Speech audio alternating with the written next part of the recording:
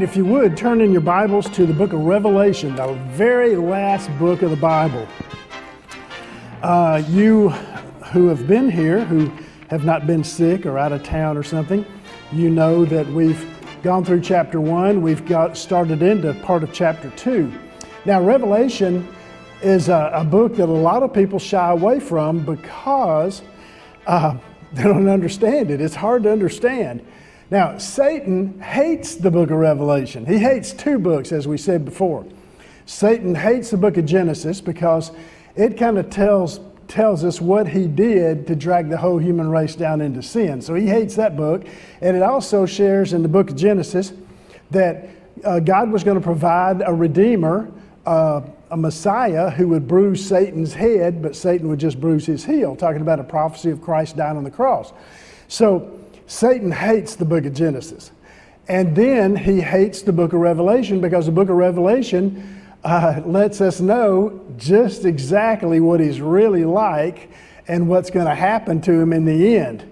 So we live in a time, if you watch TV, you see all the different things that are happening around the world with COVID 19 and all kinds of stuff, and so much political corruption, and everybody's thinking, what's going on? The whole world's going crazy everybody feels like something major is about to happen. Well, the book of Revelation actually tells us what's going to happen.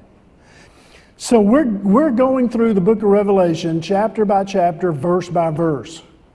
We've already covered chapter 1. It says that God gave the book of Revelation, Jesus Christ did, to John, who was exiled on the island of Patmos out in the Aegean Sea. He was exiled by the Roman government because they got sick of him preaching the gospel. They threw him on this old island and they thought, well, that'll shut you up. Well, God was saying, I'm not through with you, John. So God started to give him the book of Revelation. What's going to happen in the future? Now, in chapter 1, he talks about primarily showing us a vision of Jesus Christ in his full glory. Jesus Christ was not just the Son of God in the sense that he's a little bit less than the Father. Jesus Christ was not someone who became the Son of God when he was born to Mary uh, miraculously and then uh, died on the cross. Jesus Christ was God in the flesh. So I want to just cover some of those verses that we've covered many times that talk about Jesus Christ being God.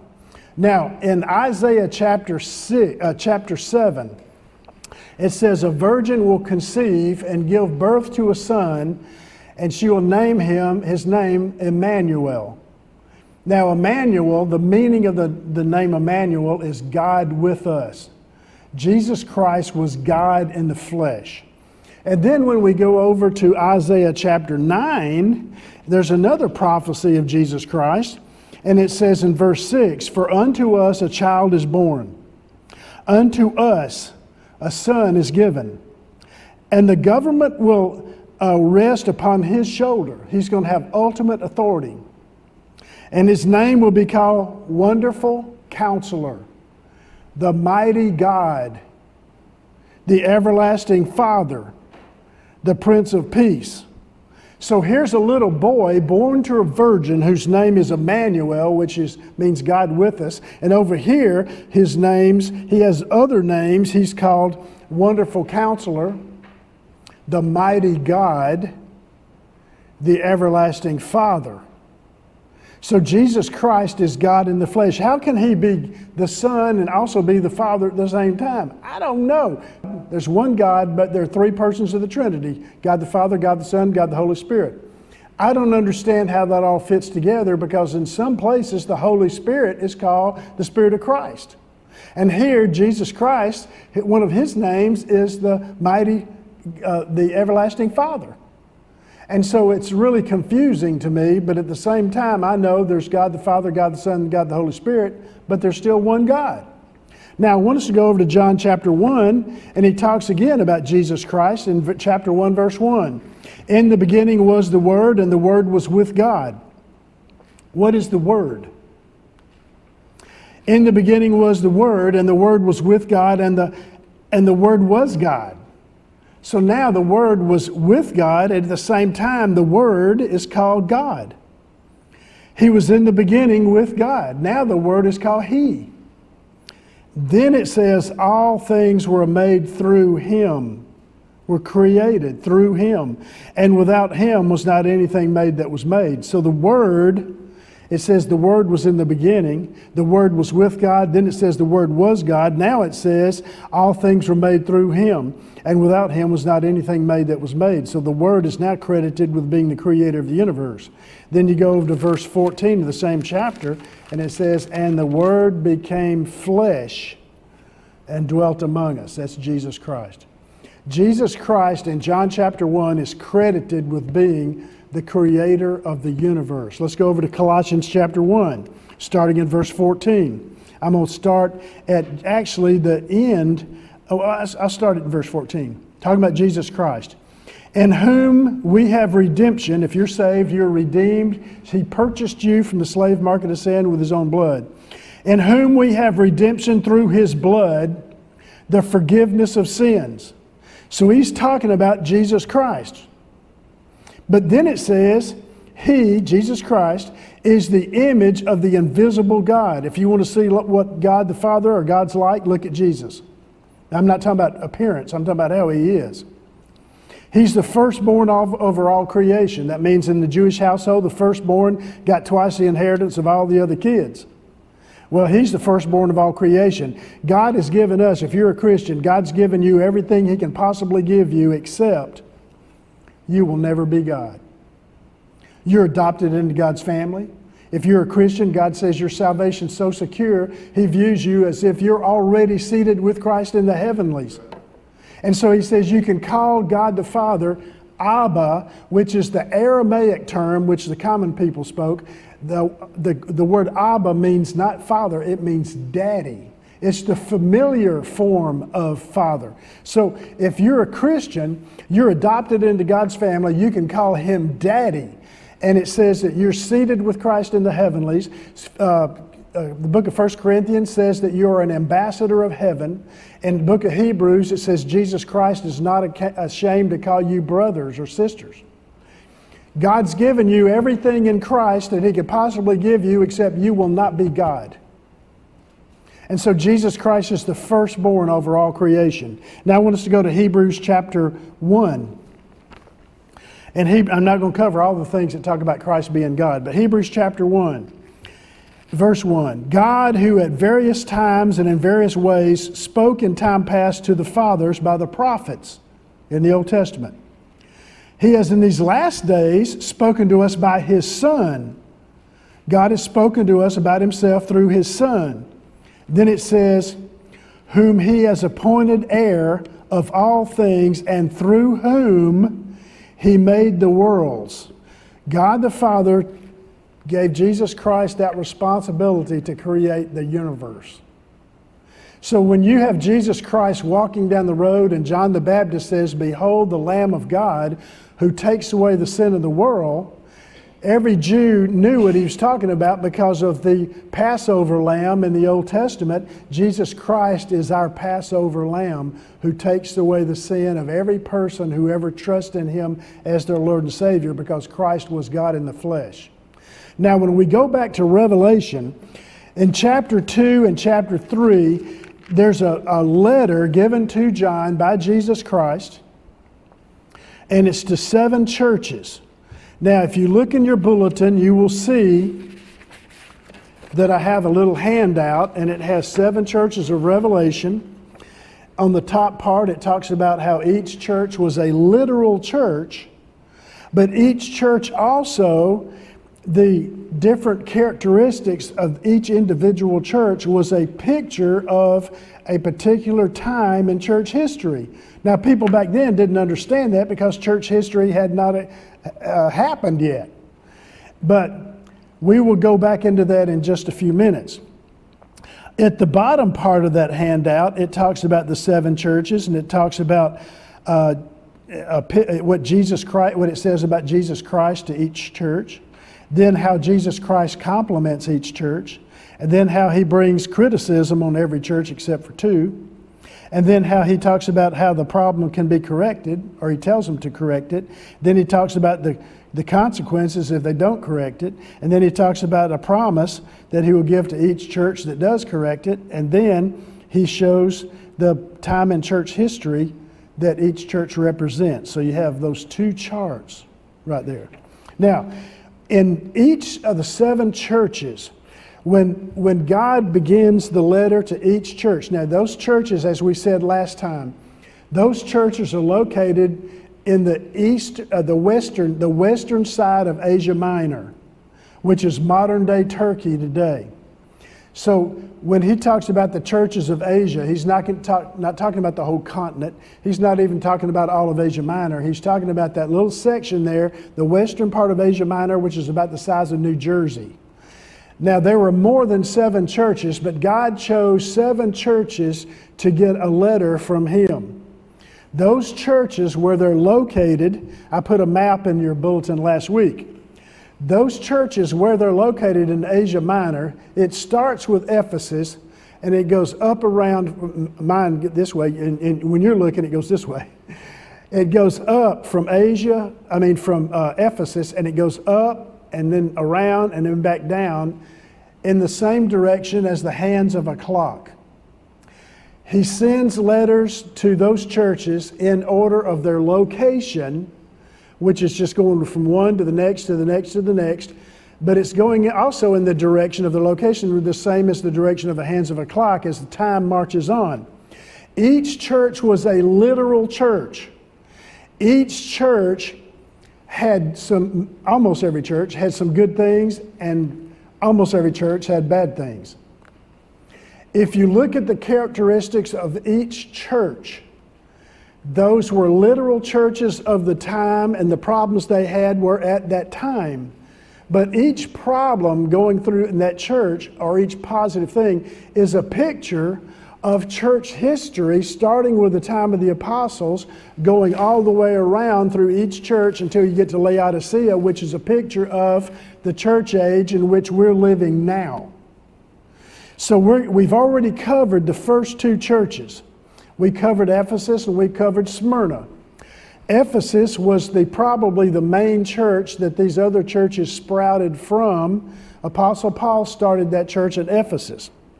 Now, the meaning of the word Ephesus is that means desirable.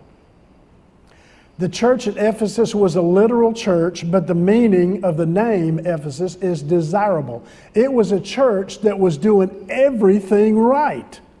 And so the Lord complimented them. And He says, I know all these different things that you're doing. However, I have one thing against you. You have left your first love. They didn't lose it, they left it. So as they begin to grow and prosper, they were obedient in so many things, all areas. And you would look at that and you think, I wish our church was like that. It was like the perfect church in Ephesus. There's only one problem. He says, You have left your first love. And if you don't repent of that and start loving me, you, they quit loving Jesus. If you don't start loving me, I'm going to take away your, your lampstand, which each church he called each church a lampstand where it held the, the oil lamp where they had the, that produced the light when they lit the lamp. And so the oil represent the Holy Spirit. And so each church was to be a light in the world as the Holy Spirit lived through that church. He said, if you don't repent and start loving me, I'm going to take away your lampstand. In other words, your church is going to die. I won't be able to use you. Now, in this day and age, we have churches all across America which is actually a picture of the church, I mean, the Laodicean church. But I want to ask you today you may be faithful in serving Jesus Christ in various areas, but do you really love Him? We have people today who, oh, they'll say, I came down, I walked down the aisle when I was 10 years old and I asked Jesus into my heart. That's great. And I know I'm going to heaven. That's great. I know my sins are forgiven. That's great. I go to church all the time. I go to youth group. I go to Christian school. Uh, I, I, do all the, I go to Bible studies. That's great. But do you love Him? Now, when I was, I went to the University of Alabama to be a doctor. I went to Southeastern in Birmingham to study for the ministry. One summer, I worked on staff with Wales Goebel's Ministry in Birmingham. Wales is like my spiritual daddy. We were doing evangelism all over the place, leading people to Christ, teaching Bible studies, going, going, going all the time. It was an exciting summer. And I was in the office with one day with Wales and myself, and I was telling Wales about all these great things that were happening and stuff. And he said, Jim, let me ask you something. Do you love him? Man, that hit me like a ton of bricks. I thought, well, I'm serving him, but do I love? Do you love Jesus Christ? He said, if you love me, you'll keep my commandments. Well, what about churches that are like mega churches and everything great is happening in that church, and the pastor runs off with some woman in the church, and there's a scandal? Well, God's blessing that church. Well, that church is really active and they're doing a lot of ministry and there it's everything visible. But when you stop loving Jesus Christ, everything that you're doing outwardly is a waste of time in a sense because you're doing it for the wrong reason. People can say, "Oh, put a sign out, watch our, come watch us grow." Now, what does it mean when you put a sign out on the highway saying, Come watch us grow? I'm not picking on any churches because I see those signs all the time. What it's really saying is, come watch our buildings get larger. That doesn't mean you're growing in your love for Jesus Christ. You can have buildings all over the place, but it doesn't mean you love Jesus Christ. Harvard University, Yale University, they were started to train pastors to preach the Word of God. Today, they have lots of big buildings. They're famous. People come from all over the world to go, go to Harvard and Yale. But they're no longer, they no longer love Jesus Christ, and pastors are not being trained to reach the lost world for Christ. So, that church in Ephesus was a church that represented the uh, uh apostolic uh, church. Now, going back, I got off track here. As Jesus Christ sends a letter to each church, he addresses each church and he says it says something about him being God. Each when he writes a letter to each church, it starts off with some characteristic of Jesus Christ being God. We get into chapter 2 of Revelation, there we go.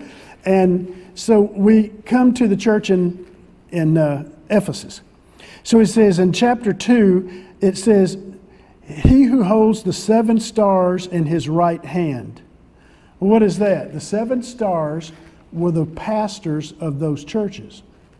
He who holds the seven stars in his right hand, who walks in the midst of the seven golden lampstands. Those are the churches themselves. So Jesus Christ is God in that he holds those pastors in his right hand and he walks amidst those seven churches. Jesus Christ talks about himself being God. Then we go to chapter 2 over to verse 8. The next church is Smyrna. And so here, something else is mentioned about Jesus Christ being God. And it says, These things says the first and the last, who was dead and came to life. Jesus Christ created the universe, and in the end, Jesus Christ will fulfill all prophecy, and then we will rule and reign with him for all eternity. So he's the first and the last who was dead and came to life. That's Jesus Christ. Jesus Christ is God. So here it talks about his deity again. Then we get to the church in Pergamos in verse 12, and it says, these things says he who has the sharp two edged sword. Well, what is that? Well, we know that in the book of Hebrews, chapter 4, verse 12, it says the Word of God is alive and active and sharper than any two edged sword. So, that two edged sword is the Word of God. Jesus Christ was called the Word in John chapter 1, and the Word was with God, and the Word was God, and the Word became flesh and dwelt among us. Then we go over to chapter 2, verse 18. And to the angel or messenger or pastor, the word angel means angelos, is angelos in the original Greek, and it means messenger or pastor. To the pastor of the church in Thyatira, write, These things says the Son of God, who has eyes like a flame of fire and his feet like fine brass. So we saw earlier the Lord in all of his full glory in chapter 1, and now it refers back to that in the church, when he, the letter to the church in Thyatira. And he's the Son of God. Then we go over to the church in Sardis in chapter 3, verse 1, starting in the, the next uh, part of the beginning of the verse there. It says, These things says he who has the seven spirits of God and the seven stars. Now, we saw the seven spirits of God. We studied what those were a few weeks ago, and that's the fullness of the Holy Spirit. So, Jesus Christ has the fullness of the Holy Spirit and the seven stars. He holds those pastors. Those churches had pastors, and Jesus was in charge of those pastors. And then we go to the church of Philadelphia in chapter 3, verse 7.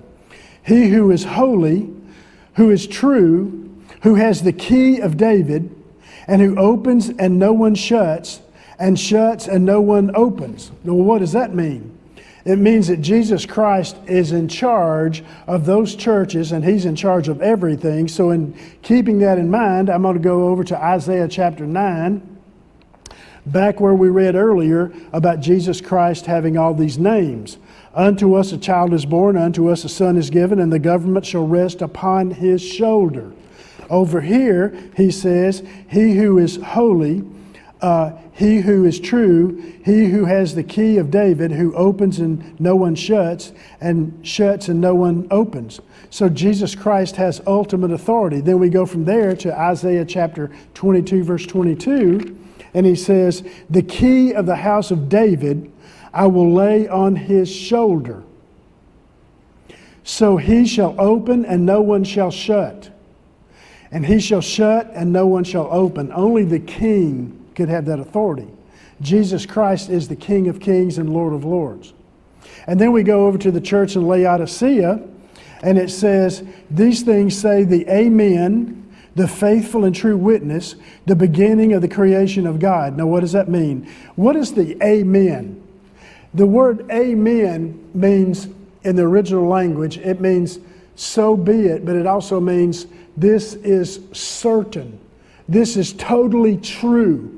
And so Jesus Christ is someone who is totally honest, totally true. He, he, he never lies. If you want to know what the truth is, you go to Jesus Christ. He is the Amen. He is the so be it. He, he is the absolute truth. Jesus says, I am the way, the truth, and the life. No man comes to the Father except through me. So as he writes to each church, he says to that last church, which is a, a, a, a pretty sickening church, these things says the Amen the faithful. Jesus Christ is always faithful to you and me. And if we grow to understand His faithfulness, the more we understand His faithfulness to us, the less we have to be afraid. Now, let's take COVID, for example. You can be terrified of COVID, and some people have had every right to be terrified. They've died. But when it comes to you being a Christian, nothing can touch you without His permission. Now, does that mean that you be irresponsible? I trust Jesus Christ, but I'll lock my car at night. I trust Jesus Christ, but I'll lock my house, the doors of my house at night. I trust Jesus Christ, but there's certain things that I do being responsible. However, if we go out of town and go on vacation. I don't lay awake at night thinking, I hope nobody breaks into our house and steals. we don't have a whole lot that's valuable. I hope nobody breaks into our house and steals something. I don't worry about that. The cat, we already gave her away. Yeah. She, she bit Hope. I said, uh uh-uh, uh, we are not going to have a cat that bit my wife. She didn't mean to bite her, but she just got freaked out at another cat and bit Hope instead. But anyway, I thought that's it. So I, when you belong to Jesus Christ and you are doing things to be responsible, at the same time, you can trust Him that nothing can touch you without His permission. And if it does touch you, He's already said, all things work together for good to those who love God and called, to, are called according to His purpose. So we think, well, why do some people get martyred? God will use that for His glory. And sometimes we never know why, but we will when we get to heaven. So we were talking the other day, Hope and I were talking about people say, well, I'm, you need to get this shot or you need to get that or whatever. I'm going to do what I feel led to do by Jesus Christ. For me, I'm, I've made decisions for my life. And as at this point, as I've made those decisions that I believe God wants me personally to make, then I have come to the point where I'm saying, Lord, I'm going to be responsible and keep my hands washed and everything else. But I'm going to trust you and I'm going to walk in obedience to you and if I get sick with COVID, you are you have allowed it. Now I've already gone through a time where they thought I had cancer in both my kidneys. My mom and daddy died young of cancer. You've heard me tell the story. And I was terrified when they said two different doctors, my doctor and then the urologist, said, We think you have cancer in both your kidneys. I was terrified because I had a wife and three kids at the time. That's 20 years ago. I was terrified until Jesus Christ brought that verse to my mind that says, God has not given us a spirit of fear, but of power and of love and of a sound mind. And you've heard me say many times how I lay in that bed that night and I stretched my arms out on the mattress as if I was being crucified. And I said, Lord, I don't want to die of cancer because I saw my mom and daddy die of cancer. It was no fun. But I want to be in the center of your perfect will because your will is good, acceptable, and perfect. And if you want me to die of cancer, if you want to crucify me, crucify me. I submit to your will for my life. When I did that, and I concentrated on His faithfulness, my fear went away.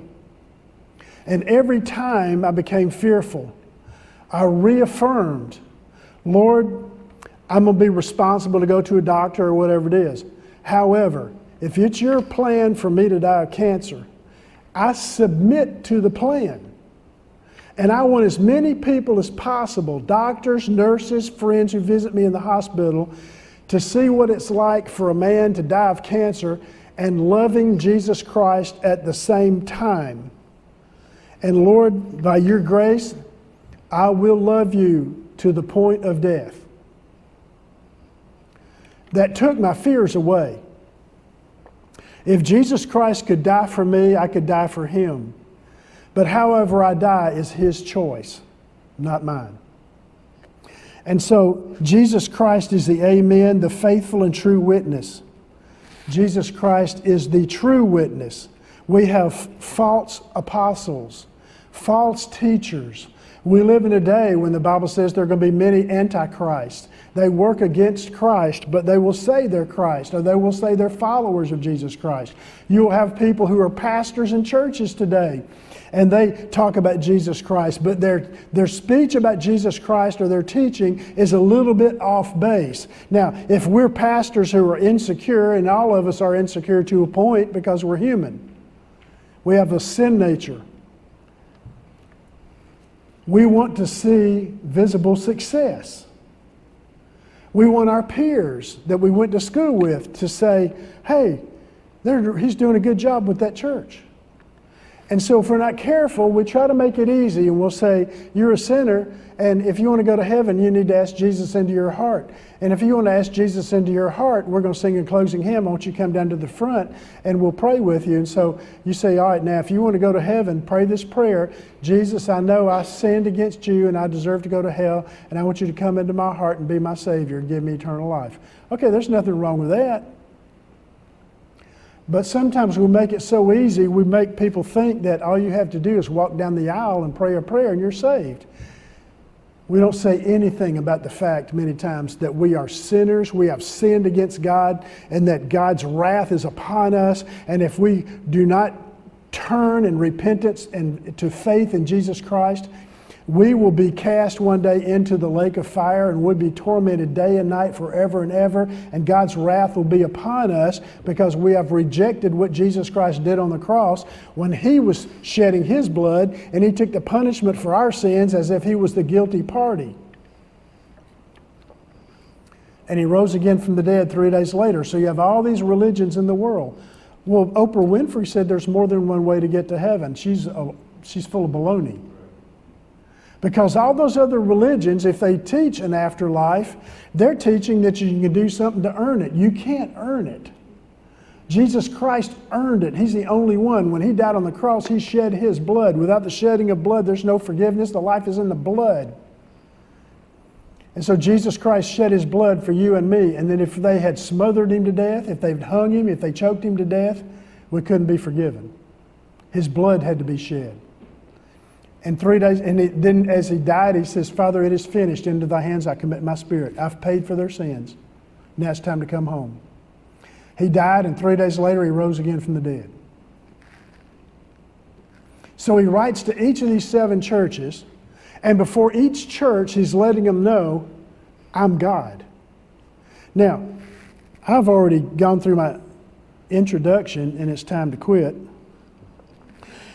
So, so we're going to be going into from chapter uh, from the second church, we're going to be going into the third church, which is Pergamos.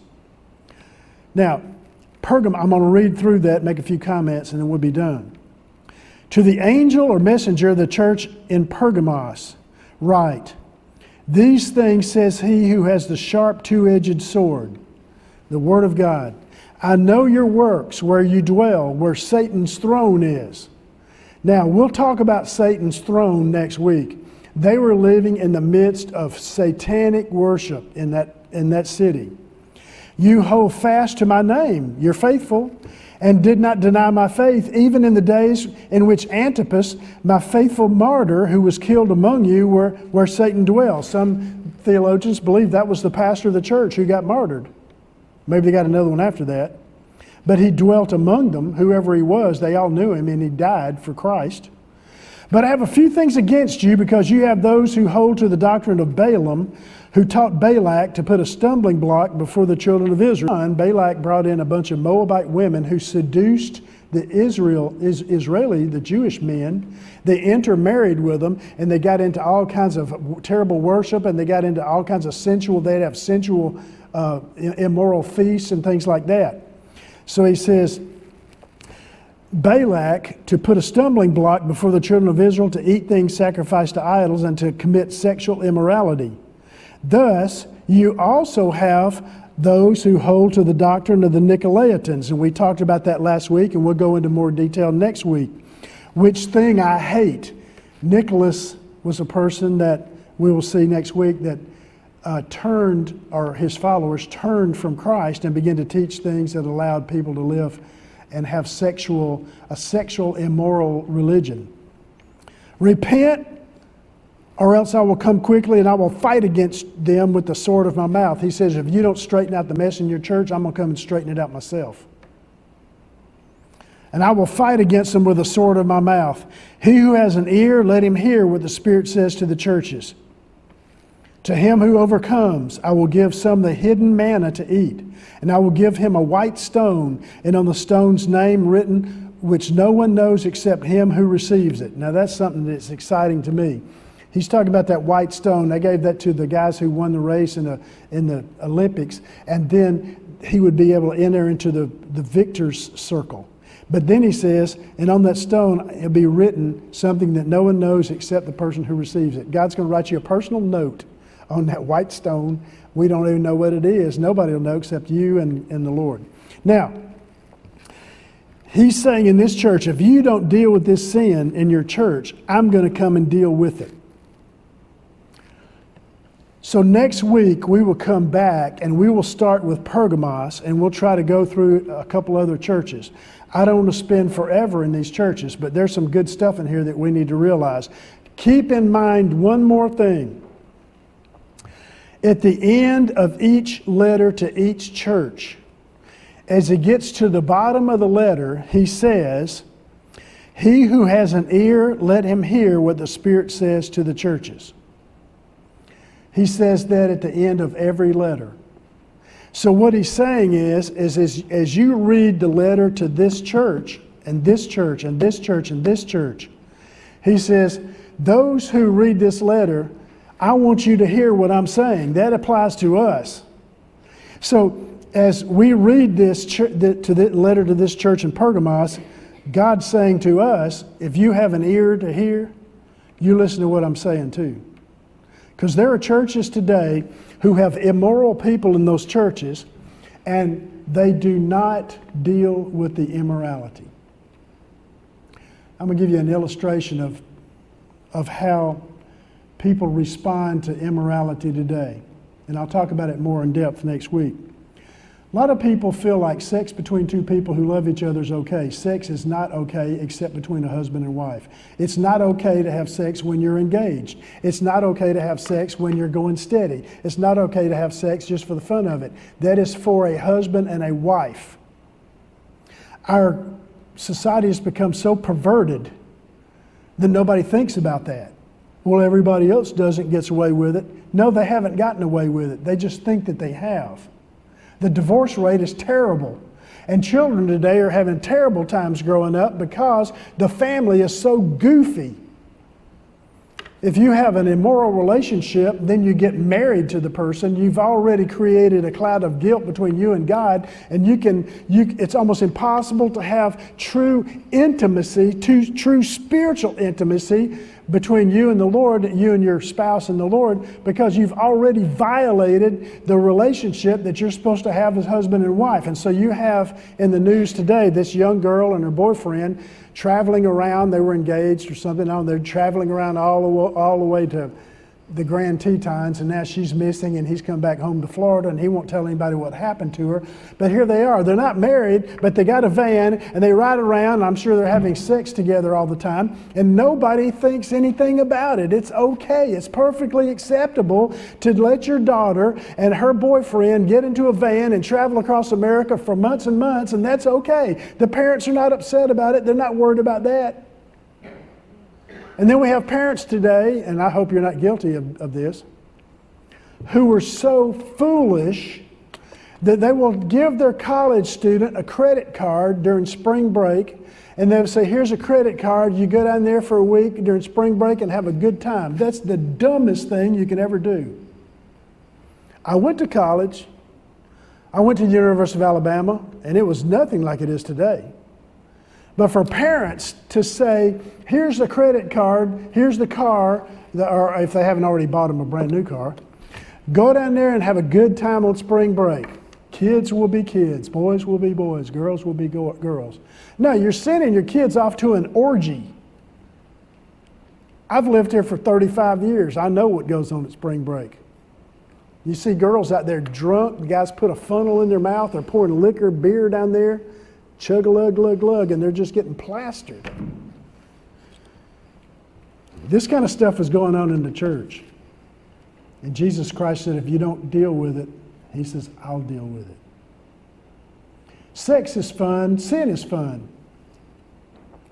But God chastens those whom He loves. And so God says, if you don't repent of your sin, I will make greater, I will bring greater pain into your life than the pleasure of sin that's in your life. The pain will outweigh the pleasure. So we have people today who get married and then sometime later they're getting divorced because the sex is not what they thought it was going to be because you can't build a marriage on just sex. But it sure gets people's attention when they're single and some people who are married. The husband wife relationship is supposed to be a picture of Jesus Christ and his church. Satan wants to destroy that. It was happening in this church. Let's close in prayer. Father, we thank you for this wonderful day. And Lord, we know that we live in a society that is corrupt. Very few people are honest. Very few politicians can be trusted. Lord, we live in a day that we don't know who we can trust. We watch the world around us and they're floundering. They appear to be getting away with sin. And then some people blow their heads off, or some people just overdose, or whatever it is, or they just they can't stay together and they go from spouse to spouse to spouse, or they just shack up and live together, and the kids are all confused and they're taking Ritalin. Lord, we just live in a rough place. And Lord, we thank you that Jesus Christ is the way, the truth, and the life. And no one can come to the Father except through you, Lord. Thank you for the fact that you're totally holy and righteous and pure and just. And you do not compromise with sin, but you do love those who repent and trust Christ as their Savior. And you lift us up to be children of the King. We thank you for that. If anyone here has never trusted Christ, I pray that they would today. In Christ's name I pray. Amen.